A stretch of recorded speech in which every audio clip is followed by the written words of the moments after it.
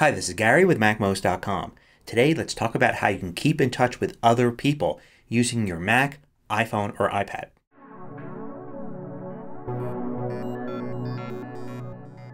MacMost is supported by more than 500 viewers just like you. Go to MacMost.com slash Patreon. There you could read more about the Patreon campaign, join us, and get exclusive content.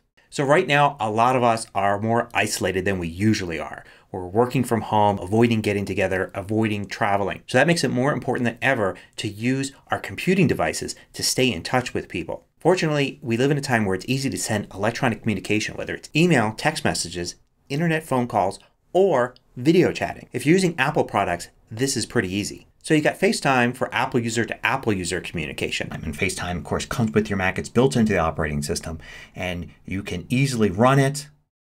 You'll see yourself there.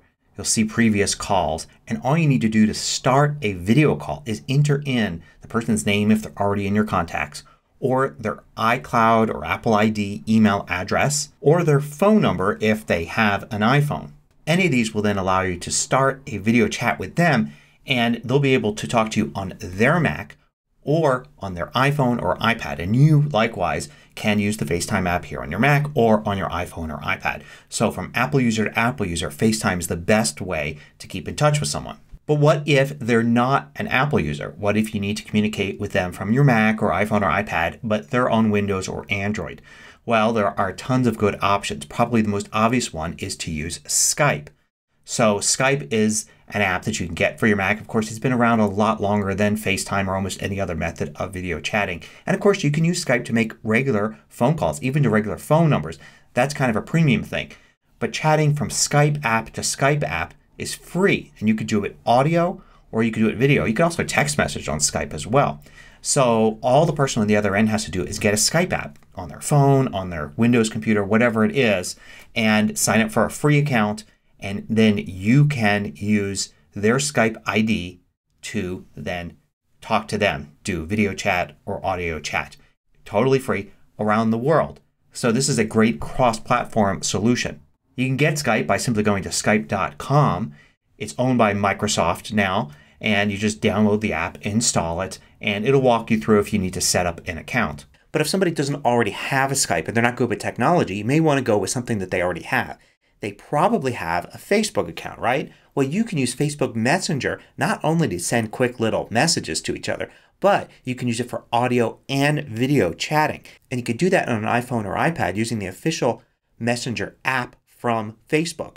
On a Mac, there's no Messenger app yet, although one is coming really soon. In some countries, it's already out. But until then, you can just go to facebook.com on the web, click on the Messenger button, and you can actually video chat from your Mac to another Facebook user right there on your Mac using your Mac's webcam. For non-techies, this might be the best option if they're already using Facebook.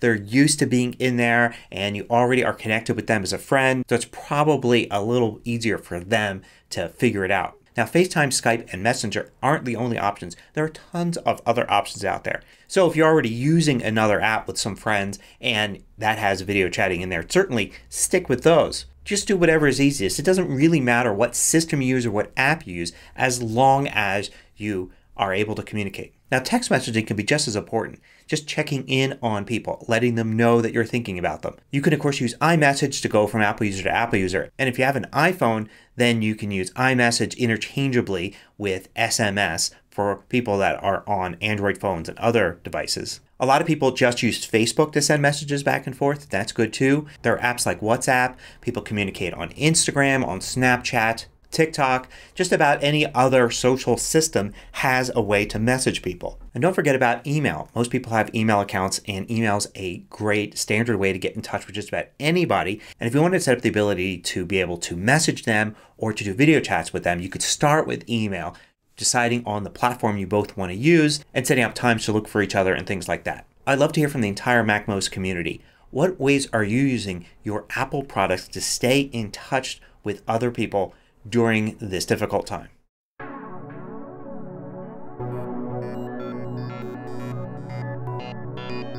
I publish new tutorials every weekday. Hit the subscribe button so you don't miss out. Then hit the little bell icon to get notifications for each new tutorial.